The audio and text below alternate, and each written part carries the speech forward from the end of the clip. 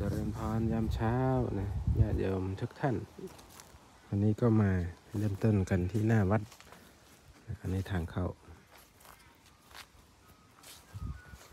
นี่ก็เป็นกองของ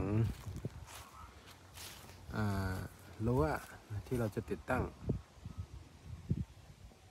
โดย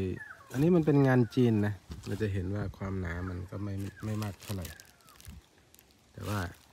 ถ้าโครงการที่มันเยอะขนาดนี้ก็งานออสเตรเลียไม่ได้นะ ถ้าได้ก็จะเป็นที่เราไม่เอาอะที่เป็น Colorbond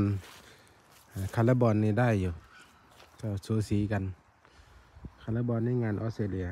แต่ว่ามีปัญหากับการต้านลม อันนี้มันเป็นเหล็กตาข่ายเหล็กตะแกรงถ่ายข้างบน อั นนี้ไม่ต้านลมนะก็จะถูกนำไปติดตั้ง ก็มีจำนวนเยอะเหมือนกันตอนนี้กองอยู่หน้าวัดนี่คือพาเนอร์ทั้งหมดอ่าตรงกลาง 260 เมตร ด้านหลังอีก 180 เมตรนะ ก็อยู่ในนี้แหละ ก็เมื่อวานนี้ช่างได้มาเริ่มงาน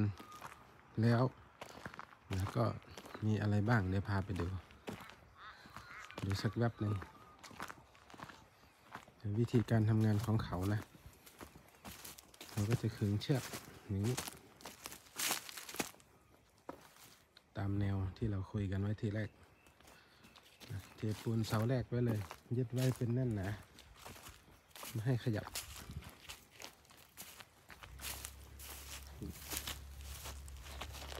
ส่วนที่เหลือก็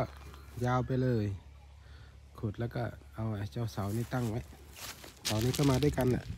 อันนี้ลงไปข้างล่างหนึ่งเมตรนะ เสาทุกต้นจะลงไปข้างล่างหนึ่งเมตร ก็ลึกพอสมควรเหมือนกัน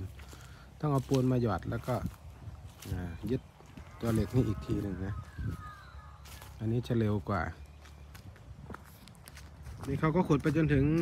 เครื่องสูบน้ำเราแล้วเมื่อวานนี้วันเดียวนะก็ถือว่าเร็วเหมือนกัน ก็ไปทำลายท่อประปาอยู่ตรงนั้นหลวงตาโมโหอยู่เมื่อวานนี้